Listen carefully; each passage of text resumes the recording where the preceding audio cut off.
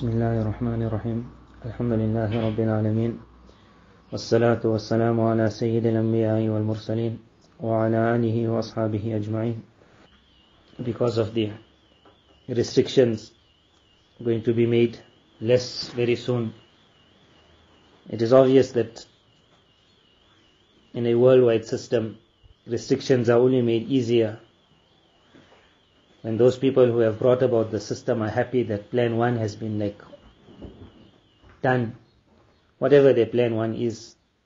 Our country and the countries of the world taking loans was no like small thing. That loan would never have been taken by any country in the world. And no loan will ever come except with certain conditions after. So the world will change now. There's no denying it. And it might change very fast. The next few years, what we will see will be a different world. You call it the rising of an empire. So I will mention certain verses of the Quran. When Nabi Ibrahim alayhi salatu wasalam, Mufassirin mentioned the first empire of Satanism, the first satanic empire that was established was done by Namrud. And he enjoyed a very long period. It was a period where idol worship was made to flourish. And whoever stood up against it, there was no way they could fight that, the army of Namrud. Ibrahim alayhi salam had, the environment was so difficult that his own family was the idol worshippers. That was their business, to make the idols. So Almighty Allah mentions the dua of Ibrahim alayhi salam and how he showed a plan of action. That when you will see a new world coming, then how you must look at that new empire or that world, and what du'as you must make and what effort you must make. Almighty Allah, it is called Surah Ibrahim. One ruku comes devoted towards how he made dua. Perhaps it was after he had taken his son and the mother of the son to the land of Makkah Mukarramah. So when he is leaving them, perhaps there at that moment, or maybe it was after the Kaaba was built, whenever it was, Ibrahim alayhi salam makes this dua. وَإِذْ قَالَ إِبْرَاهِيمُ رَبِّ اجْعَلْ هَذَا الْبَلَدَ آمِنًا Almighty Allah says, remember the time when Ibrahim alayhi salam made this dua. That, oh Allah, make this land. He was speaking about the land of Makkah Mukarramah. But for me and you, it is our land, whichever land we live in. هَذَا الْبَلَدَ آمِنًا Let it be a land of aman. Aman means ease, peace. There mustn't be war, there mustn't be suffering, there mustn't be difficulty. What we are heading forward towards is called Vision 2030. Vision 2030 is a new world. A world where there will be no sickness. There will be no war. There will be no crime. For me and you to imagine South Africa without crime is like a dream. Perhaps South Africa will see that vision. No crime. It is something everyone wants to work towards. But sometimes that aman also comes together with Satanism also. It also comes together with Bedini also. Sometimes when there is fear, man is still scared of his iman. And when there is no fear, at that time everyone goes so fast with the flow. So his first dua was, Oh Allah, make this land the land of Aman. And he added it immediately, وَجُنُبْنِي وَبَنِيَّ أَن نَعْبُدَ الْأَصْنَامِ But protect me and my children that we ever fall into the worship of idols. Idol worship wasn't the real thing. It wasn't the idol. It was a jinn behind the idol. That's why he made it very clear in the next Rabb. Rabbi innahunna adlalna kathiran minan nas. That these idols or the thing behind the idol, it has taken so many people astray. Adlalna kathiran minan nas. فَمَنْ تَبِعَنِي فَإِنَّهُ مِنِّي Said the ones who will follow me, Allah, they mind, they were going to be very few. As the world moves towards this vision, at the moment it's only atheism. Satanism is still quiet in the world. Satanism will become very loud. They will not be worshipping an idol like the Hindus do anymore. We'll see a new world, perhaps the world of the robot, but we will see Satanism loud. The words of Illuminati will be a very big word. And there'll be no one really worried about it because Aman will be the main thing. Few will worry of this, that Allah give us Aman. We also want a world of no crime, no sickness. But it must not be at the expense of our or our children's iman. وَجُنُبْنِي وَبَنِيَّ Oh Allah, protect me, save me, and save my children. Imagine who made the dua. Where Ibrahim alayhi salam would ever have thought he can fall into idol worship. For him to make that dua, Oh Allah, save me. it meant me and you shouldn't think that we'll never fall in it. He said, save me and my children. وَجْنُبْنِي وَبَنِيَّ Then he showed a plan of action. When the world will open up and wealth will start falling, and because of difficult days that people have seen in this last few, and they will see perhaps for one, two years, everyone's aspiration will be now I must set up my business such, my world such, that in the future if ever something like this happens, I'm well set. The plan of action of Ibrahim alayhi salam was when you will find a new era. He said, Rabbi, ربنا إني أسكنت من ذريتي بواد غير ذي زرع عند بيتك المحرم. It is called you have to make now a choice between deen and dunya.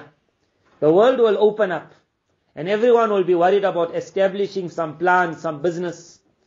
But now where are you going to go and establish it? How South Africa was in the past. You had our Indians in one area, we had the Muslims in one area. It was a gift for the people of Islam that people lived around the masjid. When this world is going to open very fast, it happened in many other countries of the world. Perhaps South Africa will even see it. That in the search now for sustenance, it's either man goes away from the masjid or man has to stay by the masjid, but there perhaps you will not get that amount which you're getting somewhere else. to make a choice now between whether my deen will be given preference or my dunya. Ibrahim alayhi salam said, Oh Allah, I put my progeny to live in a land. إني أسكنت من ذريتي بواد It is a valley.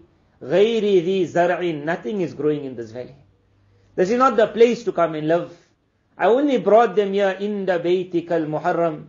I brought them so they could be close to your house. ليقيموا الصلاة Oh Allah so that they could be the people establishing the salah. He showed what he gave preference to. But they'll always be worried that what about their world? What about their sustenance? What about their rozi?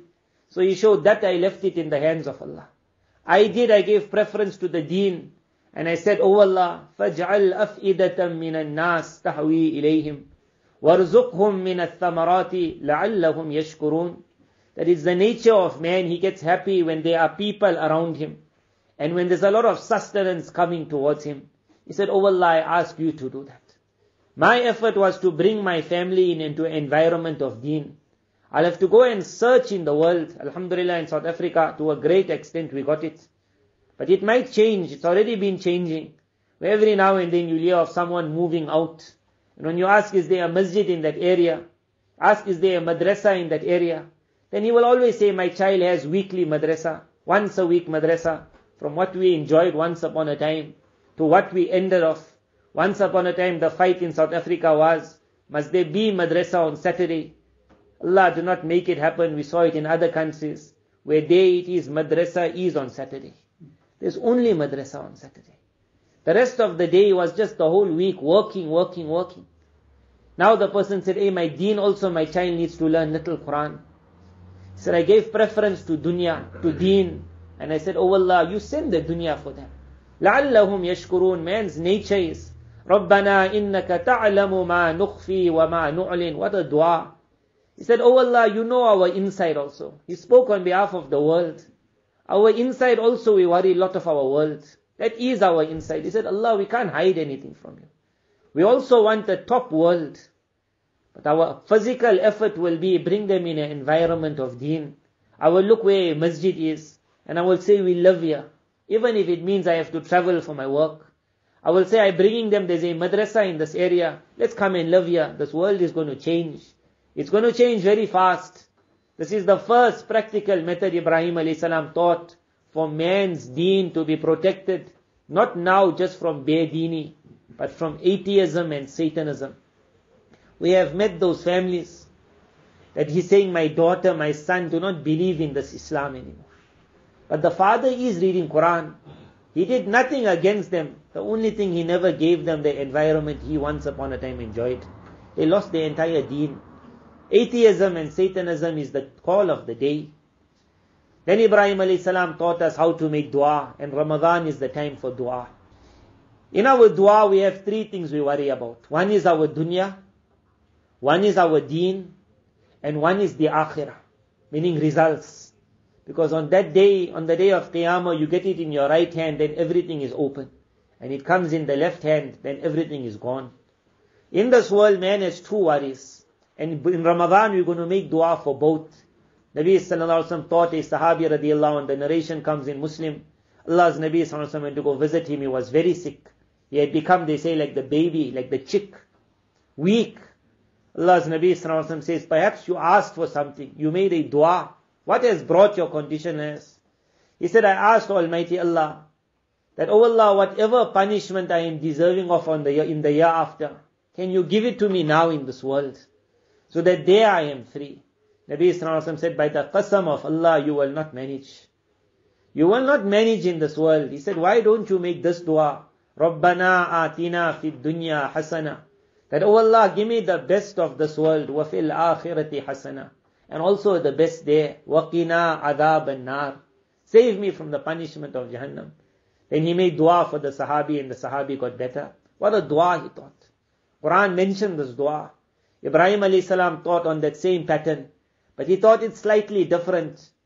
One was regarding dunya, one of the best du'as which Nabi sallallahu alaihi wasallam made, mentioned, he said, "Afdalu du'a, alhamdulillah." The best du'a man can make is, "Oh Allah, I thank you," especially for our worldly issues.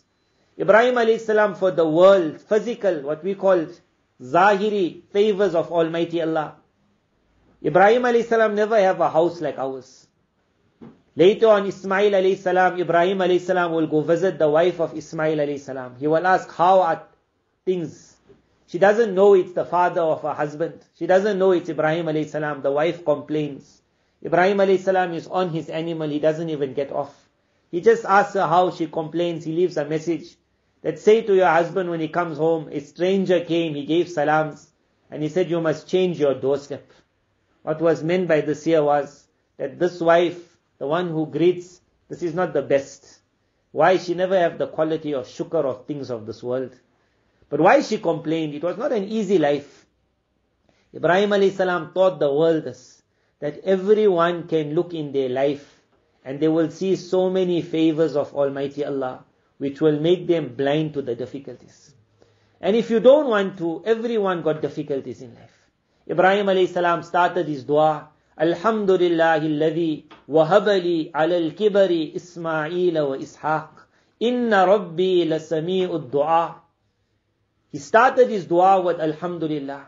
That, oh Allah, in my old age, how can I ever thank you? At a time when I never thought I'll get a son, you gave me Ismail. I never thought I'll get a son, you gave me Ishaq. What and what you gave me? Inna Rabbi lasami'ud dua. How you listen to my du'as. In ex- expressing thanks to the favors that Allah gave us now. That is dua because Allah promised la in shakartum la azidannakum. It is a dua, our world will get better. The second is whoever looks at the favors of Allah will never fall into depression. No matter how difficult times come, he will always say, Allah gave me so much. Look at our condition. In these days, what we call very difficult days for the country, everyone look. Either the person will be complaining, hey, I got no maid. Or he can say, Alhamdulillah, Allah never made me to be a maid. I was not made. That so much my favors of my Allah, I'm waiting for my servant to come. That poor servant is waiting, will the money of the month come? Well, I managed to pay my rent. This person got no worry for that. This person is worrying, I couldn't go for my umrah this year. That person is worrying, I don't know if I'll have something to eat tonight. If man's eye is on the favors of Allah, you will pick up a lot of favors. Ibrahim alayhi said, what a favor. How my Allah listens to my dua. In that there was further dua for dunya. Because the greatest dua is to thank Almighty Allah. Thereafter it's called, after looking at our zahiri, the favors Allah gave us, the outside, our house, our car, our families, the clothing we wear, we got lot. Then there is something called batini favors. That we don't know. It's called spiritual favors. That's where we go exert ourselves in Ramadan. He said, رَبِّ اجْعَلْنِي مُقِيمَ الصَّلَاةِ وَمِن ذُرِّيَّتِي Oh Allah, what lovely children you gave me. Look at the outside. The children of a Nabi will be the most handsome.